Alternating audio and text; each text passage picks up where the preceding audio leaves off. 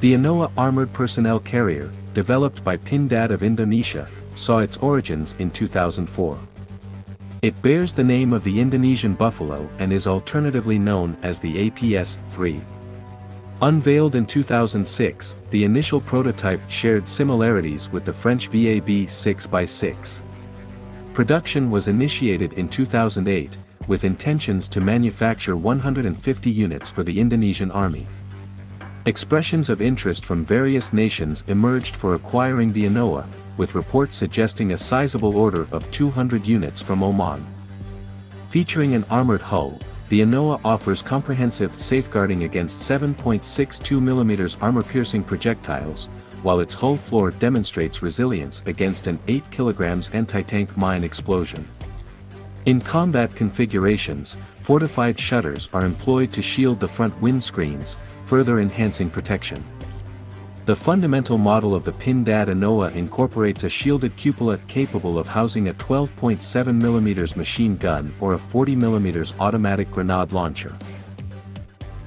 This cupola is endowed with 360 degrees rotation capabilities.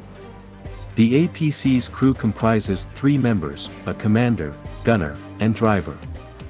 Accommodations are made for up to 10 fully equipped infantry personnel.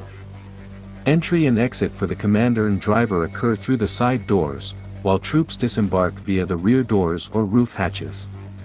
Numerous firing ports equipped with corresponding vision blocks are integrated for the occupants. Powering the Anoa 6x6 APC is a Renault engine and transmission, though indigenous alternatives are under development as replacements. Positioned at the front of the hull behind the driver, the engine is a Renault MIDR 062045 turbocharged diesel, generating 320 horsepower.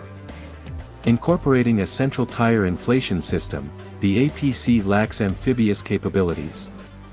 Variants of the Anoa include, Fire Support Vehicle, featuring a CMI Defense CSE-90 turret with a Cockerill 90mm gun, expected to become operational with the Indonesian Army by 2010.